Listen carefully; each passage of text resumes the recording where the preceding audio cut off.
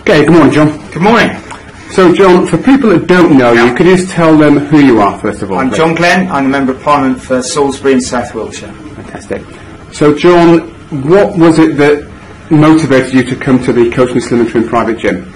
Well, I was just talking to people around Salisbury and thinking about fitness at the end of May, and a friend suggested that you know it would be good to keep fit, and I thought, well, yeah, I could look at myself first. So uh, I just thought, you know, I, I wasn't massively overweight, but I wasn't really doing exercise properly. Yeah. So uh, got in touch, and uh, you know, we've been working together the last 12 weeks, and it's been a great experience. Fantastic.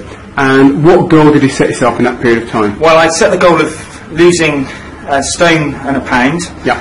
I won't mention the numbers, uh, the starting and end point, but we've made that exactly on, on the nail today. So that's 15 pounds lost in 12 weeks. But also, it's more about general fitness.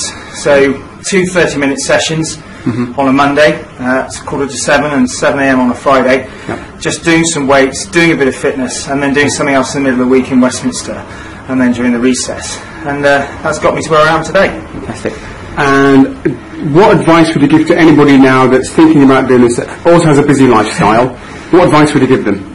Well, I don't like to preach to anyone, but No. I do think it's really important that you know we do think about our fitness because it does make you feel better and makes you more productive.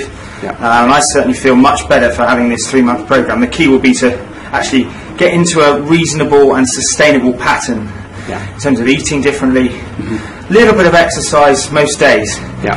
And I found that that's been manageable despite living in two places and all the ups and downs of, of my life. And Yeah. we've experienced it together, Yeah. uh, you know, with the referendum and so on. Yeah. Uh, that was a memorable session a few hours after the referendum. But, you know, it's been great. And I think, you know, the challenge now is to maintain this, you know, outside of your weekly tuition. Yeah.